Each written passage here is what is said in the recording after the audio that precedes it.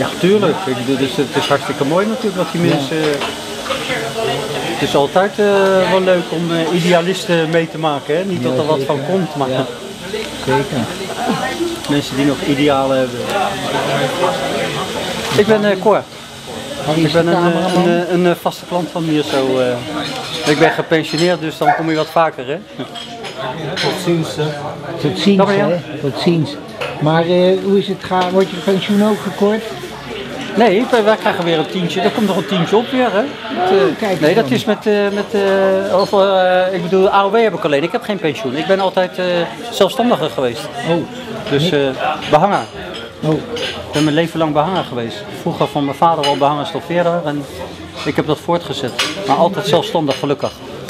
Dus geen Het verzekering. mooiste wat, nee. Dus je moet zelf sparen hè. Ja. En dat heb ik dus ook gedaan hè. Dat heb je gedaan, wou ik net zeggen. Ja, daarom. En hoeveel pandjes dan, heb je dat, er dat geeft zelfvertrouwen. Nee, ik heb geen pandjes, maar ik bedoel, dat geeft wel zelfvertrouwen als je 65 bent. Ja, Als zeker. het dan zover is dat je... En ook eh, dat je het niet jammer vindt dat je geen pensioen hebt als je al die toestanden hoort en zo, weet je. Ja, zeker. Dan heb je het toch beter gedaan met zelf wegzetten. Je Gegarandeerd. spaargeld, ja toch? Ja, tuurlijk, tuurlijk. Maar ja, Kijk, dat eh, kon je toen ook niet weten, maar eh, nu... eh, die premies waren allemaal te hoog hè, voor de zelfstandige eh, mensen eigenlijk, hè, voor pensioen. En, eh. maar vandaag de dag valt er niet veel meer te sparen natuurlijk. Nee. Maar ja, ik bedoel dus eh, als je gepensioneerd bent, dan kom je ook met waarde rond, hè? Normaal gesproken, ja toch? Een bakje bij Forensia, een krantje bij Forensia. Abonnement opzeggen, dat lees je in de bibliotheek, weet je? Dan heb je alle kranten, dus dan eh, ben je van je abonnement af van 260 per, per jaar. Je ziet dat ik overal over nagedacht heb, hè? Ja, ik heb het in de gaten.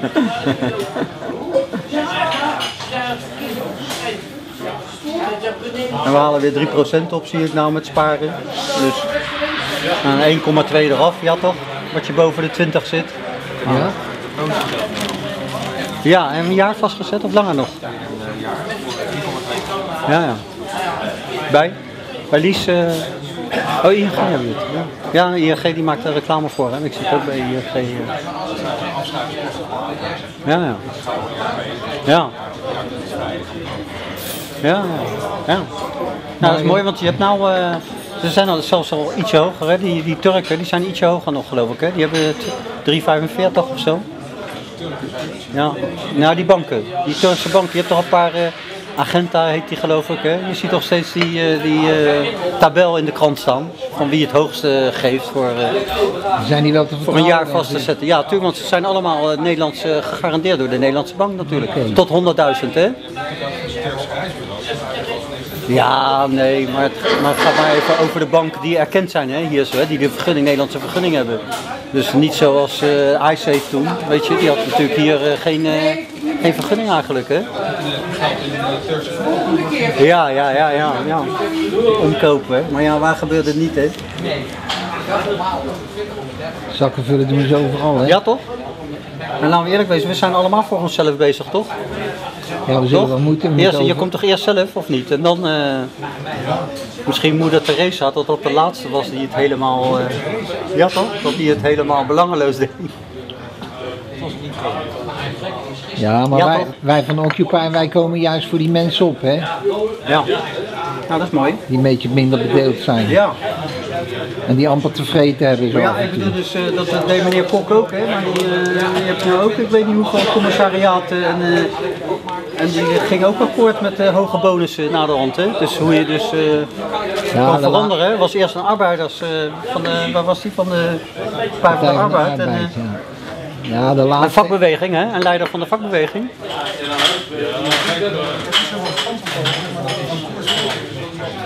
Nou ja, ik weet niet of die echt zelf van koers, maar ja, je zit bij, ja, ze hebben zoveel commissariaten en het blijkt toch dat hun ook nooit ingrijpen met die bonussen. Ook zeggen, ja, het moest, het moest dan maar, hè. Ook gewoon elke keer weer als Eerst de politiek ingegaan en eh, carrière gemaakt en daarna de zakken vullen, hè? Maar toen beweerde die ook natuurlijk van, eh, ja, de mensen met, eh, die het meeste inkomen hebben, hè, die moeten het maar dragen, hè. Ja toch? Die Ja. moeten de zwaarste lasten krijgen. En nu zit hij... Dan zit hij bij de ING, hè? Ja, onder andere ING. Meestal hebben ze 10 of 15 commissariaten, hè, als het niet meer is. Sommige. Ja toch? Nee, maar ja, het schijnt zo'n commissariaat schijnt ook iets in te houden van drie keer per jaar of zo. Hè. En als je dan toch nog eh, een 15.000 eurotjes ophaalt, weet je, dan eh we drie keer een bakje doen met z'n allen. En, eh, ja, maar hoe vaak blijkt nou dat die toezichthouders gefaald hebben? Elke keer weer toch, bij alles, of niet? Elke keer lezen we weer in de krant van, ja, toezichthouders die zijn in de fout gegaan, ja toch? Ja, en, nog, en nog een bonus toe. Ja, en een bonus toe, dus eh, Ja, de enige echte socialist was vadertje Drees. Dat was een echte, hè. Hebben we nou een AOW, eh, bedankt nog, eh, Ja, dankjewel. ja toch? Ja, Ja, ja. ja, de Beeklaan hè? Beeklaan, hè? Zijn huis is er nog steeds hè? ja. Ja, dat Gewoon een huisje had hij.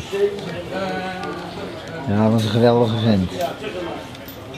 Zo, stop. China gaat het ook wel goed. Brazilië. Nee, China gaat het nou ook niet. Turkije gaat het ook goed.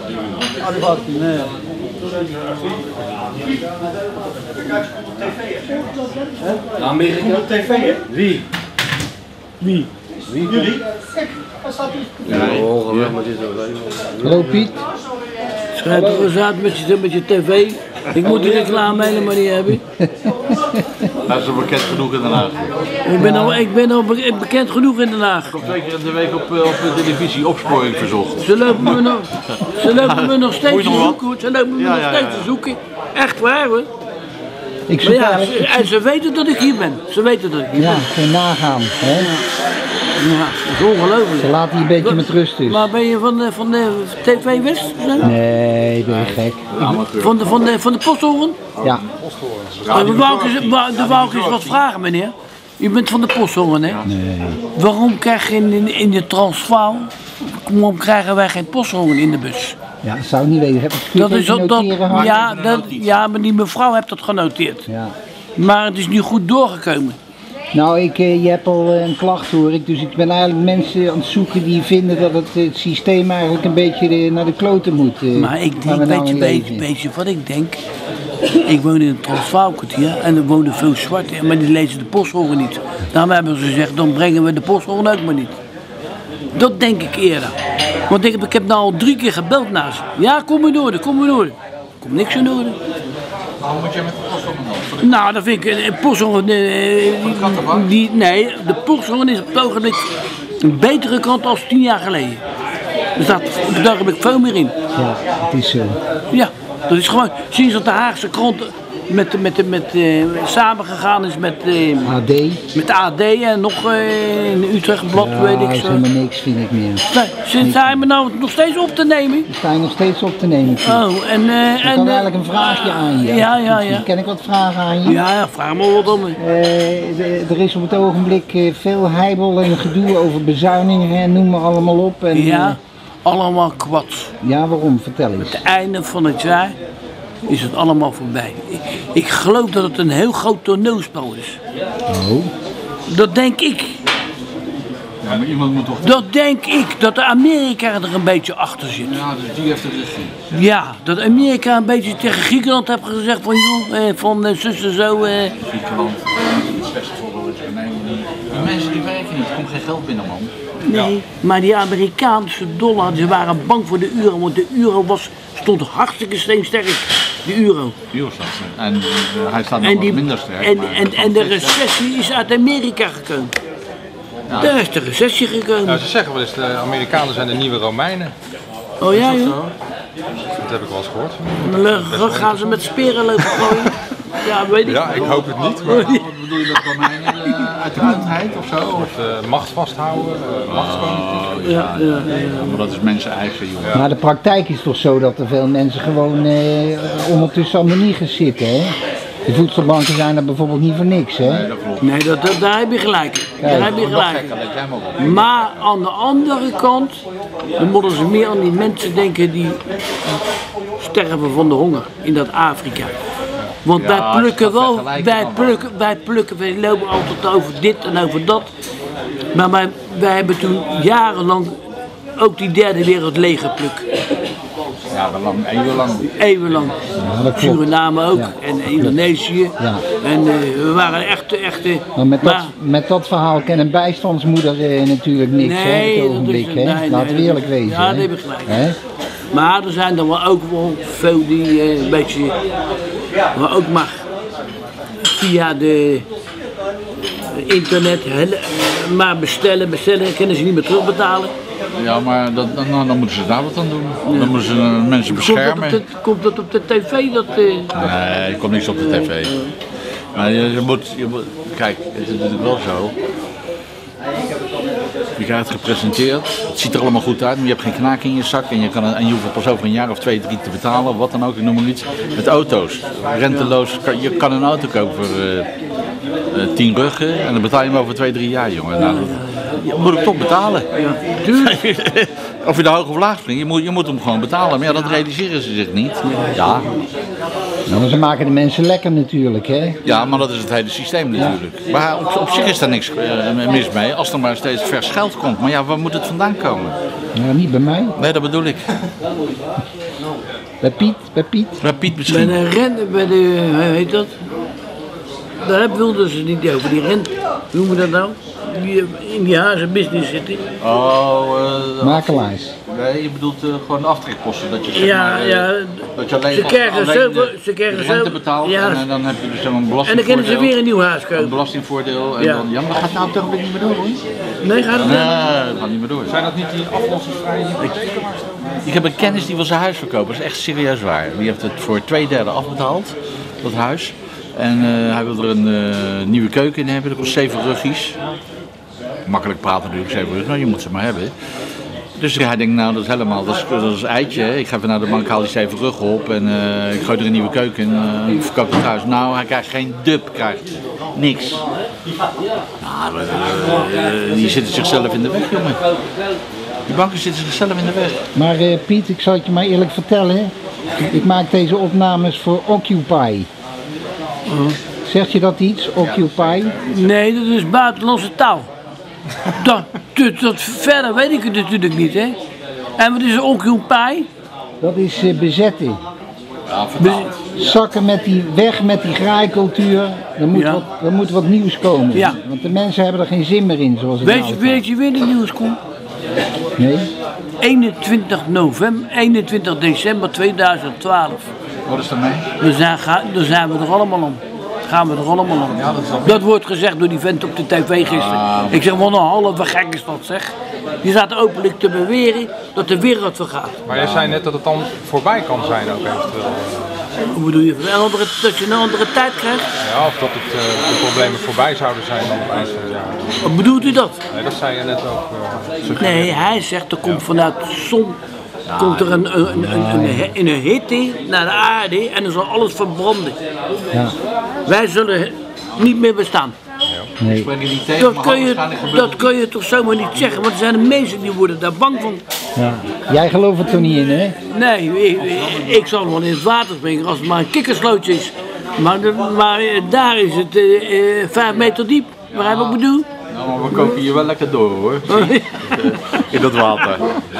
Dan ben je ook niet tevreden. man bij het hond, dat wordt, eh, Ja, man man. bij het hond. Ja, die- man, die ja. wordt, Maar dan voor thuis. ja. Man bij het hond. Nee, is wat een ga je vrouw. dat, ga je dat afdraaien zo? Nou, dit eh, zetten we op, eh, op de livestream, zoals dat heet. We hebben een, eh, op internet een eh, klein tv-zendertje, om het zo Dat kan allemaal tegenwoordig, ja. Wat geinig. ja. Dus eh, bekende mensen zien dat ook natuurlijk. Ik heb geen internet. Ik heb er geen, geen mol voor om dat te betalen. Nee, nee, want eh, Nee. Oh, er is toch ook een aanbieding van de, van de Sigo. je bent blij dat je twee bakjes koffie kan nemen, hè? Twee, nou ik neem er nog wel eens een derde ook bij. Oké, ja, drie Ja. eurotjes Ja, moet maar dan moet iemand jarig zijn hoor. Ja, hè? Hè, dan moet Maar iemand dat. Nee, natuurlijk. Maar eh, vertel jij eens, Harry, wat Occupy is, want dat wil hij toch graag weten. Ja, ik weet het, Occupy, eh, het is... Weet je dat wel? Lees van de krant. Nee ik, nee, ik weet het echt niet, Occupy. Ik weet het niet. Occupy is een eh, beweging die... Ik heb er wel eens van gehoord hoor, maar ik ben het weer vergeten. Ze staan op het Malieveld in tentjes. Zegt je dat iets? Ja, dat zeggen we wel wat. Oké. Dan op het, beurs, Ja. het beursplein in eh, Amsterdam. Ja. Zijn ze, waar zijn ze eigenlijk, waar, eh, waar zijn ze nou tegen? En waar Tegen zijn de ze? rijcultuur gewoon. Ja. Tegen de gaaicultuur. Ja. Nou, daar geven ze wel volkomen gelijk in. Ja joh, maar het is, het is een beetje verzand allemaal. Dus al die zwervers die zitten er ook bij allemaal nou ineens. Maar die, hebben- die hebben niks te verliezen natuurlijk. Nee, maar, die gaai ook. Ja, maar die hebben maar een heel klein handje. Dus dat graaien, dat valt... Ik eh, ken zwervers die hadden, hadden een bankrekening van twee, een paar ton. Zwervers? Ja, en die werden 65 jaar, die hebben hier geslapen. En toen ze 65 jaar waren, gingen ze naar de dochter, gingen ze naar de familie. Nou, dat hebben ze, dat hebben ze toch voor elkaar gebokst. Nou ja, goed, dat zal wel eens een keer gebeuren, maar dat is toch geen schering in inslag? Pak in die Nee, standaard dan eventjes. Niet alle zwervers zijn oplichters natuurlijk. wat is dat? Nee, ik, ben, ik krijg een lamme arm, maar ik vind het gesprek zo leuk dat ik wil eventjes op een standaard Ja, zetten. natuurlijk.